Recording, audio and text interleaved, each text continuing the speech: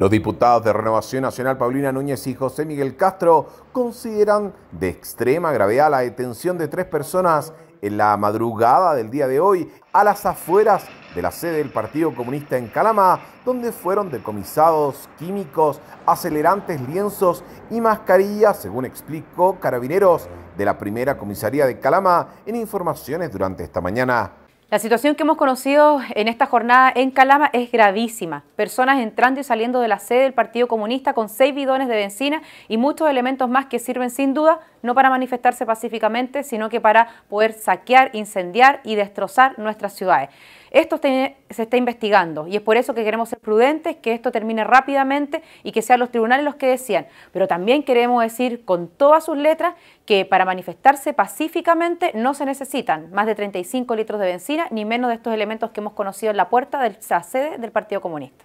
Por su parte, Miguel Castro emplazó a dirigentes parlamentarios a dar una explicación, considerando que la sede del PC es el lugar de trabajo de un partido a todas las tiendas políticas le hemos escuchado condenar seriamente los casos de anarquía, de, incendios, de barricadas, de destrucción de la propiedad pública y privada.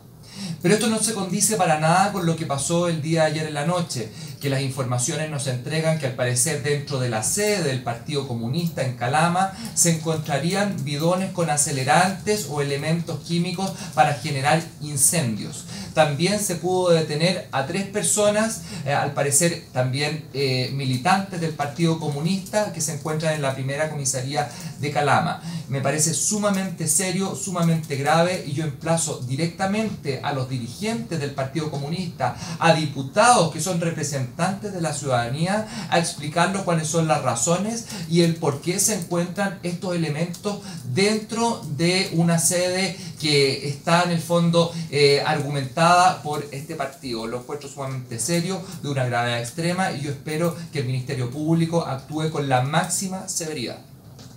Finalmente, los parlamentarios enviaron una petición formal al presidente de la Comisión de Seguridad Ciudadana para que invite a Guillermo Tellier como calidad de presidente del Partido Comunista para que pueda esclarecer estos hechos.